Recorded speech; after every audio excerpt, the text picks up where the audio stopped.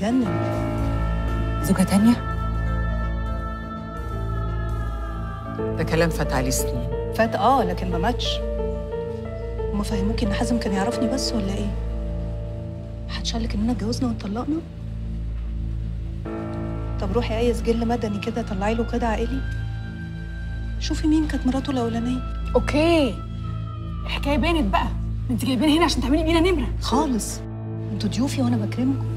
سوزان فعلا ما كانتش تعرف إن حازم اتجوزك قبلها. واديكي عرفتيها. عندك حاجة تانية؟ ذكريات. ما عنديش إلا ذكريات وبس. فاكرة يا مدام رجاء أول مرة نتقابل فيها؟ كانت هنا في المطعم ده. على الترابيزة اللي هناك دي.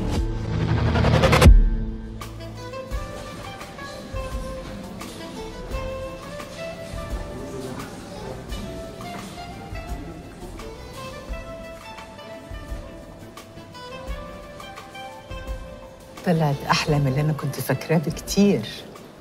مش قلت لك يا ماما؟ الحقيقة أنا أول ما حازم قال لي إن حضرتك عايزة تقابليني أنا مصدقتش بصراحة.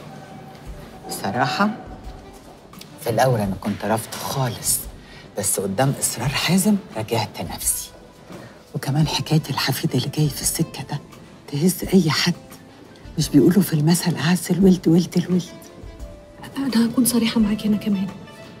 أنا بصراحة كنت خايفة ومرعوبة مش عارفة أتصرف إزاي. حسيت إني ورطت نفسي وورطت حازم في مشكلة ما إحناش قدها. أنتوا لسه صغيرين والعمر قدامكم. بس من الآخر كده المشكلة دلوقتي مش عندي أنا عند بابا. مامتي كمان ما تعرفش على فكرة. دي حاجة بسيطة. أول ما ناخد موافقة عصمت أنا هروح معاكي عند مامتك وأفهمها كل حاجة وأشرح لها الحكاية كلها. وأقول لها إن كل اللي حصل ده كان بمعرفتي ومباركتي كمان ها إيه رأيك يا مسك؟ أظن مفيش بعد كده. لا طبعا مفيش يبقى لازم نتحرك بسرعة قد ما نقدر. بكرة تفوت على مسك وتجيبها وتقولنا على القصر. هكون أنا حكيت لعصمت كده ومهدت له الموضوع. نبقى جاهزين لاستقبالك. أنا مش عارفة أشكرك إزاي. تشكريني على إيه؟ حازم ابني وأنت هتبقي بنتي